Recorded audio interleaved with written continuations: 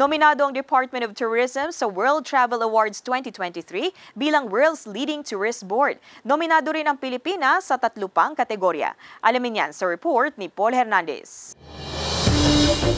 Patuloy ang pamamayagpag at pagpapakilala ng natatanging ganda ng mga tourist destination sa bansa.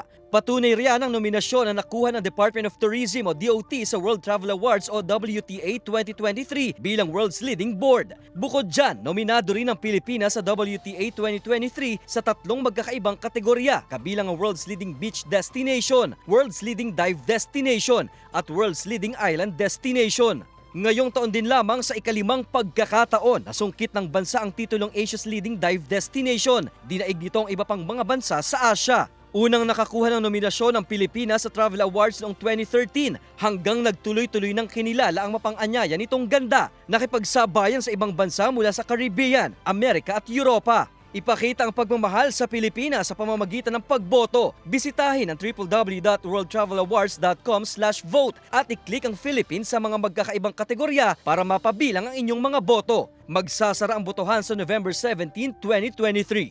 Paul Hernandez, Balitang Southern Tagalog.